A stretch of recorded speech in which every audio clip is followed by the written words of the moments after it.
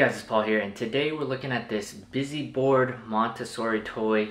So basically, I really like this because my daughter, she's one and a half years old now.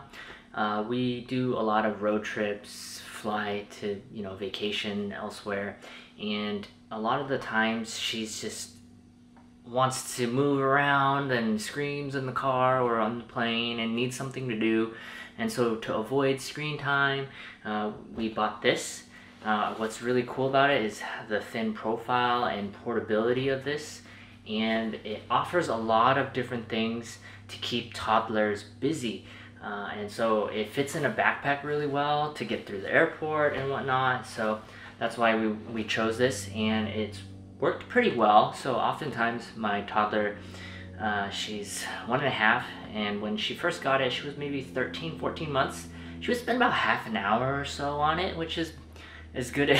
you know, it's pretty good uh, for the first time seeing it. So, uh, you know, there's this. There, when you open it up, there's a lot of different straps to play with.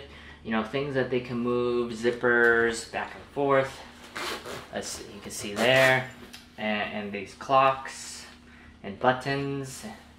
And it comes with these velcro items. As you can see here there's little uh, puzzles and whatnot. See these are all empty as you can see because it comes with all these cutouts with um, velcro stickers that you can attach to all of them. And they're puzzle pieces and play pieces that come off. And uh, your daughter or son or whatnot your toddler can stick them on here and play and here's also more items that they can kind of fiddle around with, you know, play with, and keeps them busy. And it also teaches them things. So that's why I think this is great for travel. So hope you uh, gives you an idea of what it is and it works for you. Thank you for watching.